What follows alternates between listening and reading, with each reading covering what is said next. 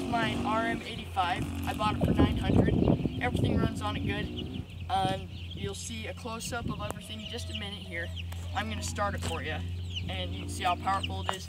I'm gonna drive it around, might do some wheelies and whatever. Let's get going.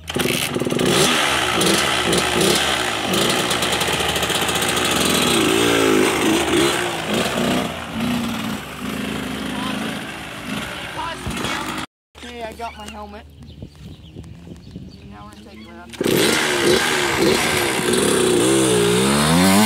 it